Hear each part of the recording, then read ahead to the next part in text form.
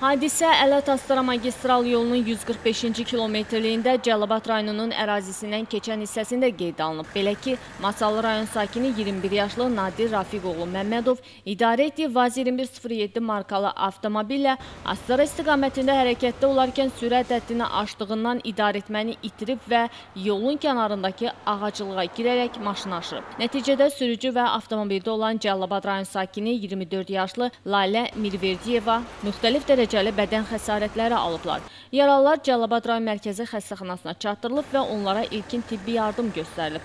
Faktla bağlı Baş Dövlət Yol Polisi İdarəsində araşdırmalar aparılır. Gültəkin Əliyeva, Rəhman Məlikov, Dünya TV.